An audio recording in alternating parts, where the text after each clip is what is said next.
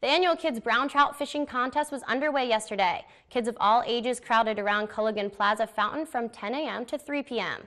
The fountain was filled with about 600 fish, both brown and rainbow trout. The youth corps was there to assist the kids, helping them put bait on their line and put the flopping fish into bags for the children to take home.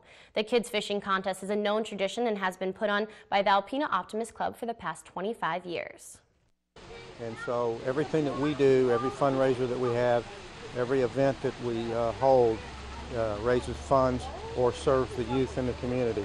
And we think that uh, it's vital that uh, we get the young people involved in fishing uh, and any other endeavor that uh, you know would benefit them as they grow into adulthood. Halsey says he hopes the event inspires some of the kids to be future anglers out on the big lake, but most importantly, he hopes they just have fun and take home a prize.